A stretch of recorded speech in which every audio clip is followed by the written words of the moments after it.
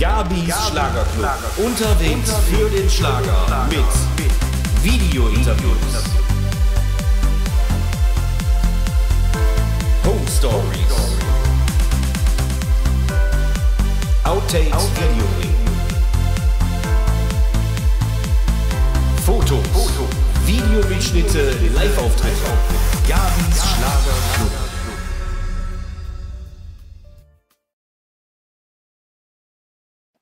Die Schlagerpiloten Kevin und Stefan. Stefan. Sind wir wieder mal beieinander? Das sind wir wieder. Das letzte Mal in Bayern, heute in NRW. Heute in NRW, meiner zweiten Heimat. Ja, genau. Und was findet heute statt? Unsere Release-Party. Bonita, unser neues Album. Genau. Ja, Da haben wir in Döckingen ja gar nicht groß drüber geredet. Wir haben nur gesagt, Veranstaltung, ne? Release Party, aber das haben wir uns dann für heute aufgespart. das kriegen wir heute. Genau. Ja, Kevin. Und du hast Sag schon du auch mal fleißig was. Texte geübt? Hast du mir erzählt? Was hast du gesagt? Äh, ob du schon fleißig so. Texte geübt hast. Ja, wir haben fleißig Texte geübt. Heute Morgen bin ich, habe ich dir erzählt, Ja. bin ich sehr früh wach geworden, um 8 Uhr, für Musiker recht untypisch. Hab mir gedacht, ach, jetzt übst du noch mal eben schon für heute noch mal. Und alles war wieder weg. Und da haben wir uns vorhin dann noch mal hingesetzt. Ne? ja. Bei mir ist immer noch alles weg. Das wir geht dann rein. gleich sehen, ne? Oh Gott, ja. Das kommt von alleine. Ja, wenn wir es 20 Mal gespielt haben, läuft's. Ist wie beim Autofahren. Aber heute, haben wir, heute sind wir ein bisschen aufgeregt. Wir machen ja heute, wir machen zehn neue heute. Zehn neue. Und dann ist es auch so, du, du hörst dich dann erst mal selbst über die Anlage singen und dann mal gucken, wie es läuft, gell? Ja, wir haben jetzt nur im Trainingslager, ne, daheim Ja. an der kleinen Anlage geübt. Jetzt macht's hier natürlich richtig Wumms. Das, schreckt mich, weißt du, so gleich. Ganz anderer Sound und dann bist du abgelenkt und dann denkst du wieder, wie war jetzt die nächste Zeile? Und dann ist die schon wieder da. Ach du Scheiße, geh wieder, hilf mir und dann, ja, weg. Wir haben jetzt, wir haben ja quasi in den fünf Jahren oder sechs Jahren, wie lange sind wir jetzt? Sechs. Sechs. Ne? Sechs. Sechs. Ich glaube, über 230 Songs. Irre. Und die sind alle So. da im Köpfchen drin. Wir ne? müssen, irgend- also irgendwann will ich, dass wir einen Teleprompter haben. Ne? Ich sag's jetzt nicht. Okay. Wir sind, zwar schon, wir sind zwar schon wert. ältere Herren jetzt geworden und zum Autofahren setzt man auch eine Brille auf, ne? Aber wir lernen immer noch auswendig. Ist besser. Ja. Man merkt, ne? Der Stefan ist noch vom alten Schlag, so wie sich das gehört. Ja, ne? guck doch mal für ein Baujahr, der ist. Das ist ja vor Christus. Das kriegst du wieder Oh. Christus, hallo. Aber dafür, für mich, wirklich einer der besten Produzenten in Deutschland. Das habe ich immer schon gesagt. Definitiv. Das habe ich immer gesagt. Also Stefan ist meiner Meinung nach, also das habe ich von Anfang an gesagt. Jetzt schleim nicht wieder so. Nee, nee, darum sage ich ja, ich habe das von Anfang an gesagt. Und nicht nachher erst. Oder ich rede jetzt nicht nach dem Mund oder wie auch immer. Ich habe von Anfang an gesagt, Top 3 in ganz Deutschland. Ja. Immer. Ja. Immer. Je nachdem, wie gut er gelaunt ist, ist er mal 3 minus. Aber der war schon mal auf 2 oder 1. War auch. ja, Kommt ganz drauf an, was ich zu essen bekomme. Wenn ich mich wohlfühle, dann ist eher, ja, momentan ist 3 plus. Oh, weißt du, Neueste, soll man verraten? Ja. Ab September machen wir beide eine. Stoffwechseldiät. Ja, wir haben uns angemeldet. Wir wir werden berichten, ob wir scheitern oder nicht. Weißt du warum? Ab September? Damit wir den im August noch grillen und saufen können. wir müssen die Bonita noch irgendwie feiern. ja, ja, Wir ja. haben jetzt jeden freien, freien Tag haben wir zugekleistert mit Grillpartys und keine Ahnung. Ja, ja, ja volles Rohr. Ja, volles Müssen wir Rohr. Und wir, wir fallen dann von 100 auf 0. Weißt du, das wird, das wird richtig hart. Stefan, mal so an dich gefragt. Ähm, wie hat man immer noch die Einfälle nach so vielen Songs? Du produzierst Amigos, Christian Franke, äh, Fantasy, so mal gerade grob, was mir so einfällt. Wie kommt man auf die Texte, auf die Melodien, die immer anders sind und dann auch noch mit dem Wumms und so modern produziert? Zum ersten äh, ergänzen wir beide uns. Und die meisten Ideen haben wir eh beim Autofahren. Wir verbringen ja das halbe Leben auf der Autobahn. Und da sitzen wir dann schon oft mal gemeinsam im Auto. Oft fahren wir auch hintereinander. Dann ruft der eine den anderen an. Ich habe eine Idee. Was hältst du davon? Und dann wird's aufs Handy Mhm. diktiert. Und wenn wir dann im Studio wieder mal zusammen sind, graben wir unsere Ideen raus, die wir so unterwegs dann kreieren. Und da entstehen dann Songs. Und das sind unsere Ideen. Die entstehen jetzt nicht unbedingt während dem Arbeiten im Studio, Mhm. sondern auf, meistens auf der Autobahn oder in, ganz komischen Situationen aus dem Gespräch raus, dann hört man einen geilen Satz von irgendjemandem. Letztens haben wir ein Bild. Gabi, du geile DNA, da könnten wir schon wieder, ein, ein, weißt du, Ja. da können wir schon wieder einen Song draus machen. Und solche, solche sprichwörtlich, sage ich jetzt mal, so Zeilen, die im Ohr bleiben, da hängen wir uns dann dran, schreiben dann Texte und probieren Melodien aus, Harmonien und dann singen wir dran und basteln dran. Und da sind wir beide schon so Sprudelbrunnen, sage ich jetzt mal. Wir sind sehr kreativ Absolut, und ja. muss man ein bisschen verrückt sein.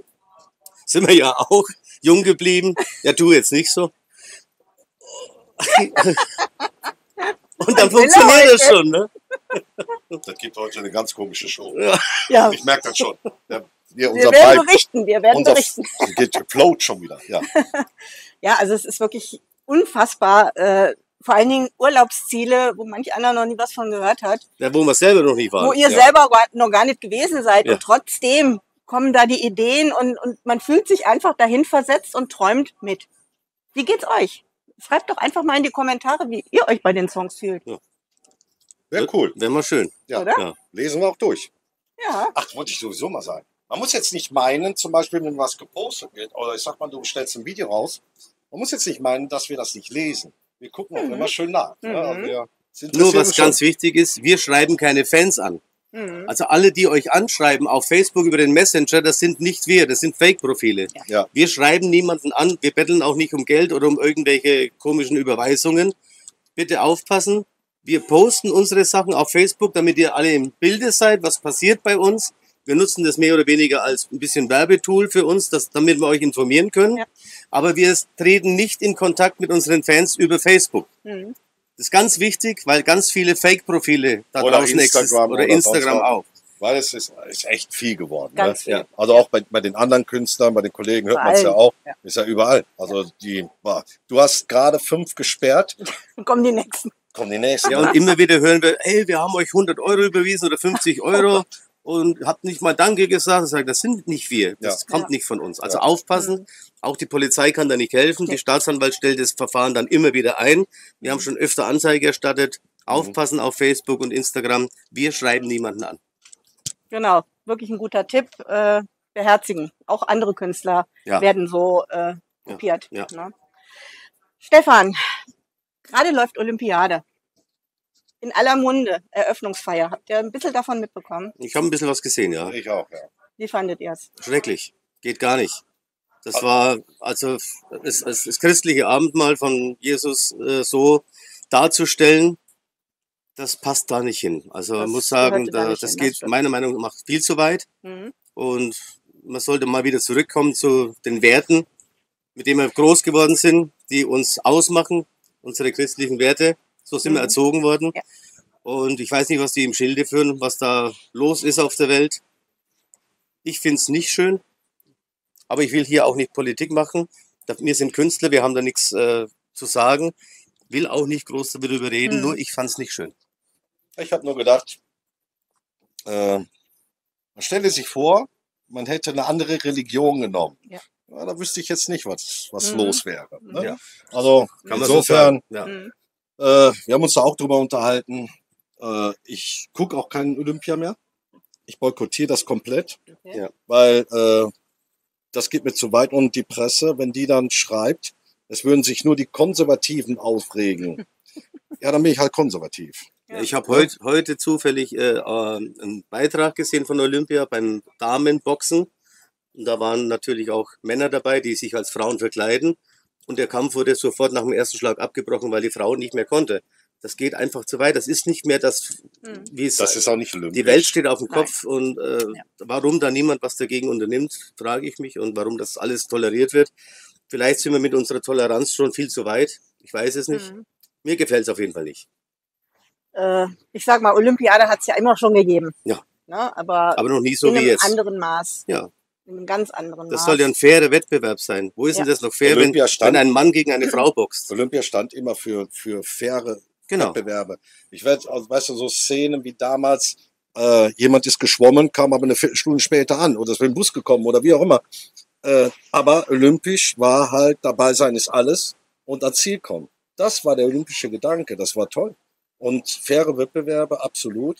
Aber dann äh, durch diese Gleich Gleichheitsgeschichte kann man ja auch alles machen, um Gottes Willen. Aber ähm, da hört es ja dann auf. Ja. Das geht nicht. Also, wie Stefan so sagte, ein Boxkampf, äh, Zwischen Gut. Mann und Frau geht nicht. so kann man nennen, ja, das ist Schwachsinn. Ja, da kann man drüber diskutieren, wie man möchte. Es wird halt im Moment alles total hochgehypt. Und äh, ich sage dazu nur, ich gucke meine Pferde und die, der Pferdewettbewerb ist für mich noch das Ding, wo alles irgendwo so ist, wie es sein soll.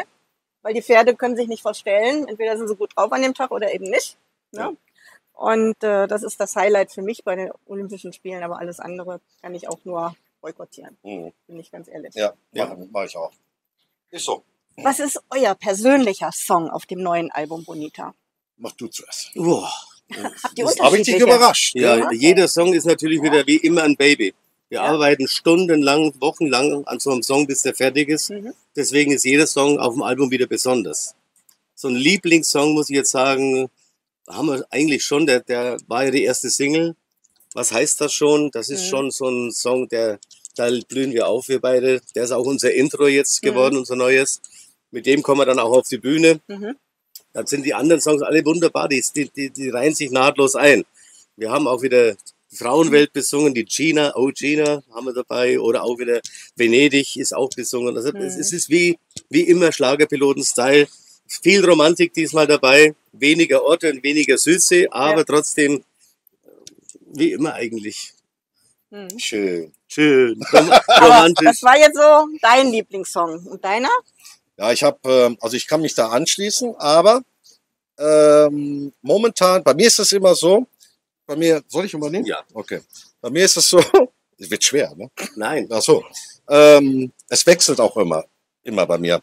Aha. War bei Rio genauso. Mhm. Bei, bei Rio hatte ich mal die Woche die, die Woche die zwei und wie auch immer.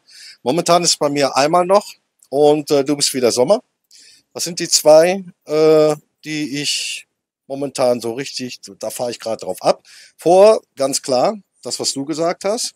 Und natürlich äh, Playa Bonita, weil ich stehe auf diese Rhythmen. Das, das ist unser Ich Ding. So, kann ich den ganzen Tag hören und auch machen. Ja, aber dann habe ich dann so, du bist wie der Sommer und dann voll drauf. Das ist schon geil. Ja, und das einmal noch, das ist ja auch deinem Papa gewidmet. Ja. Das hat ja auch ein bisschen Hintergrund. Wir würden alles dafür geben, einmal noch mit ihm am Ja. Tisch zu sitzen.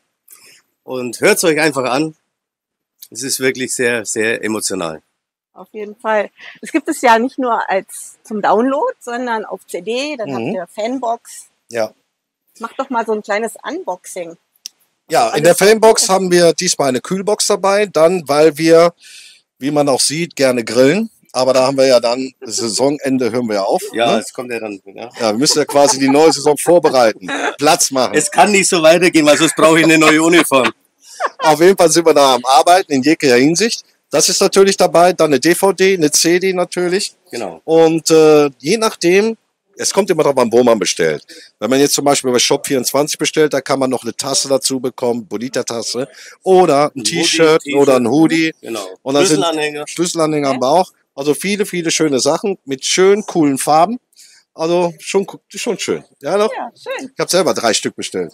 Ja, Aha. ganz, ganz cool ist die Kühlbox. Da passen sechs, sechs Bier rein. Also sechs, Ein Sechserpack. sechs am Tag. Wir müssen ja vorher mal alles testen, weißt du? Ja. Ja, schön. Ja. Ja. Ja, auf jeden Fall. Also das Album wird mit Sicherheit.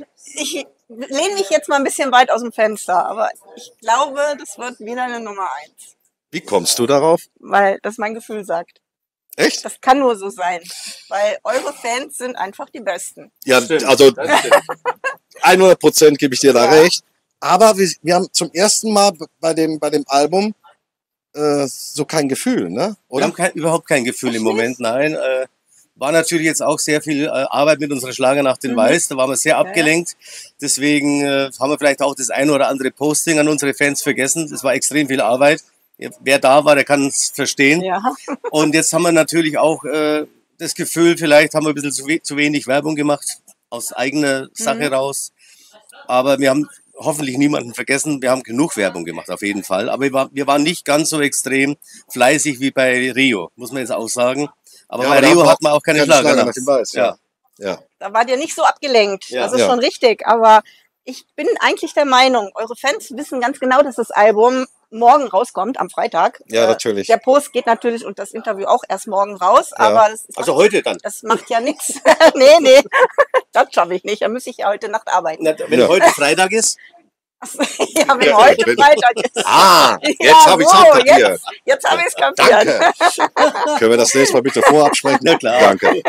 Lauf mir nicht aus dem Bild, Stefan. nee, nee, nee. Naja, auf jeden Fall äh, muss ich aber noch eins dazu sagen. Also wer nicht bei der Schlagernacht in Weiß war, Mhm. wird es heute hier in Altbuschhausen erleben. Ich habe eben schon mal so angetestet und dich gefragt und hast Ach, du gesagt, ja. ja. wir machen den Song. Ja. Ich habe ich hab ein neues Lieblingslied von den beiden. Einen ganz alten Titel, Ramona, von dir produziert, Stefan. Und so geil produziert. Ja, Deine best, für mich deine beste Produktion ever. Ja, Wahnsinn. Weißt du, wer den Tipp gegeben hat für Ramona? Ja, Weißt du das? Andrea Berg. Ich sag's, ja, ich sag's mal noch. Wir saßen bei Andrea Berg, hatten dort gespielt in der Hacienda im Sonnenhof. Sagt Andrea, ihr müsst mal Ramona covern. Das wäre doch was für euch. Mal so, ein- macht, macht nicht immer nur eigene neue Songs, covert mal so einen schönen alten Song. Ramona, das passt doch zu euch. Und die hat noch nie jemand gecovert. Da hat noch nie jemand gecovert. Dann haben wir das fertig gehabt, haben wir Andrea geschickt. Sagt sie, Jungs, mega geil. Davon bin ich die Mutti. Dann bin ich die zweite Mutti. Nee, sehr geil, Echt, wirklich geil. Ja. Das müssen wir nur muss ich jetzt nochmal loswerden. Ja, jetzt wissen wir noch nicht. Ähm, die ist ja noch nicht auf dem Album. Nee, Und jetzt schauen wir mal. Wir wissen noch nicht, was wir damit machen. Ich, ich vermute, das wird die nächste Single vorm Ja. nächsten Album. ja. Könnte sein, ja. Ja, Könnte sein. weil es ganz viele rufen danach und möchten? Ramona haben. Und wir haben es nicht mehr geschafft auf dieses Album drauf. Das war Mhm. zu spät dann, aber so schnell wie wir sind, sind wir jetzt schon mit einem Fuß mit dem nächsten Album. Also Ja, ja. den ersten Titel mit Ramona haben wir schon fertig, aber wir werden den vorab vom nächsten Album schon bringen. Und wir, Vielleicht sogar als kleines Weihnachtsgeschenk. und wir Ah. haben beim nächsten Album eine ganz tolle Überraschung. Die du jetzt aber noch nicht verrätst. Natürlich nicht. Aber es ist eine tolle klar. Überraschung, weil vor dem Album, äh, nach, Ist- nach dem Album ist, ist, vor dem Vor Album. Album. Ja. Genau. Ja. den Spruch lerne ich auch irgendwann mal, aber ja, ihr wisst ja, was ich meine. So ist es. Und wer Interesse hat für die Schlager nach den Weiß nächstes Mhm, Jahr, genau. die neue Homepage ist fertig. Termin ist Freitag, haben wir wieder Rockabend. Sam, äh, der 11. Juli, Samstag die Schlager nach den Weiß, der 12. Juli. Und Frühschoppen. Und, der Und der Frühschoppen am Frühschoppen. 13., der ist Eintritt frei, sagen wir auch gleich dazu. Aber ab sofort können auch Karten bestellt Mhm. werden. Und beeilt euch, Oh ja. wir sind drei Tage jetzt online und mehr als die Hälfte der VIP-Karten sind jetzt weg, schon ne? weg. Ja. Ist Also, Wahnsinn. Ja. Ja, Schlagernacht Super. in Weiß ist ein Selbstläufer. Ist einfach Ja. so. Sehr, sehr, sehr geil. ja, lange Es genug war- haben wir dafür es, gearbeitet. Ja, ne? es war, es war aber auch wirklich dieses Jahr wirklich ein Highlight ohne Ende. Ein Highlight ohne Ende. Und schaut euch auf jeden Fall mal das Line-Up vom nächsten Jahr an. Noch ein Topping mehr. Schon cool. Ja, ist schon cool. Ja. Wir freuen uns auf jeden Fall auf alles, was kommt von den Schlagerpiloten. Und dass ihr so zahlreich zuschaut, auf jeden Super. Fall. Ja. Und vor allen Dingen fleißig kommentiert. Die Jungs haben gesagt, sie lesen auch alles. Definitiv. Nicht immer Wäre sofort, toll. aber wir lesen es. Wir Ja. lesen Dann sage ich danke und wünsche euch gleich ganz viel Spaß. Ja, dir auch. Ne? Ja, Vor allem bei Ramona. Bei Ramona. Ja. Heute sind wir ein bisschen aufgeregt. Aufgeregt. Ja. Ja, weil die Texte vielleicht nicht so hundertprozentig Ja, sitzen. da kriegen ne? wir schon hin. Kommt aber. Wir helfen uns Na gegenseitig. Ja, klar. ja, ja. Der eine weiß was von dem anderen und dann, Oder beide wissen nichts. Da kriegen wir schon irgendwie dann hin. macht er lalala. Ja. Fällt auch nicht auf. Beide Schlager nach den Weiß. Ich glaube, ich weiß nicht, welche Nummer. Ich glaube, äh, äh, was war das? Cuba Libre, meine ich. Und ich habe mir die Rippe angebrochen beim Aufbauen. Dann hat's da gestochen und ich war raus mit dem Text, guck den an, er guckt mich an, dann will er mir zuflüstern, schrei ich, sing! Aber ich, sing, ich kann nicht. ach so! Ja. Ja, so geht's bei uns, ne? Ja, ja, ja. Live is ist live. Ja. Ja. Aber du hast hoffentlich jetzt deine Rippe so ein bisschen geschont. Es tut und, noch äh, weh, aber die Schmerzen werden weniger. Das ist gut, drei Wochen jetzt her. Naja, Man sagt sechs Wochen. Ja. Na, naja. An Wird der schon wieder. Stelle von allen Fans gute Besserung weiterhin. danke dir. Wie schon gesagt, gleich mega viel Spaß hier in Altbuschhausen, in Oberhausen und äh, wir sehen uns auf jeden Fall in alter Frische. Danke, Gabi. Bis dann. Ciao. Ciao.